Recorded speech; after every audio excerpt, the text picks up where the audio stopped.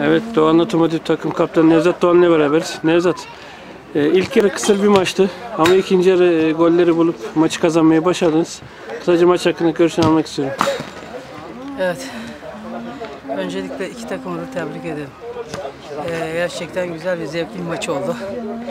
Ee, öncelikle tabii ilk yarı e, gol açısından kısır olması sebebi iki takım da ilk önce savunma güvenliğini önce tutmasından dolayı.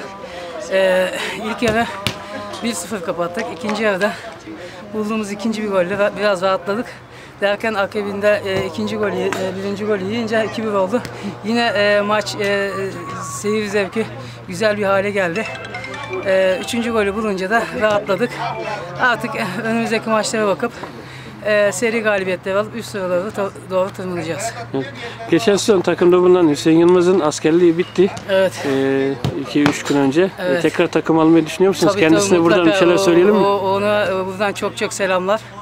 E, tezkeresini de Allah hayırlısı olsun inşallah. E, onu tabii takımı bekliyoruz.